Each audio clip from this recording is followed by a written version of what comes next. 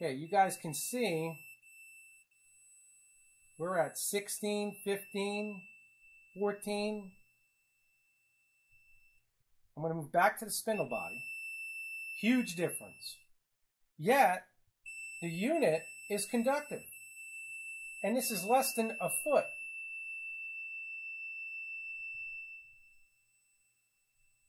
Okay.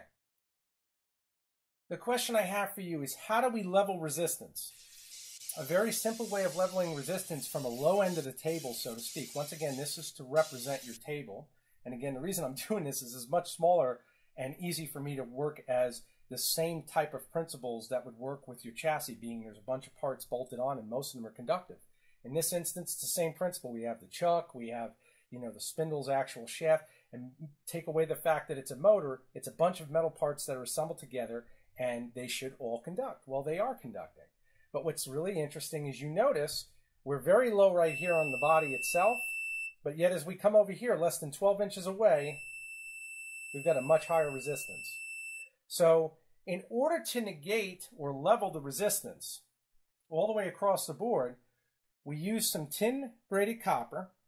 And again, I've added just a band of copper tape, soldered the copper strap to it, and all I'm going to do, I'm going to show you this. I'm going to make contact right here. Now we're at 12. There's with the copper strap on there, and if I hold it to it,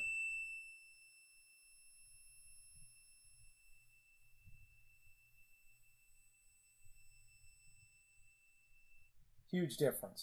Leave it on, put the strap on, strap off, on, off.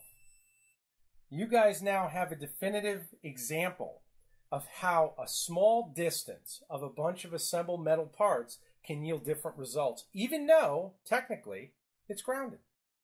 So the key here is, is not looking at how something is just simply grounded, but looking at the table as an entity.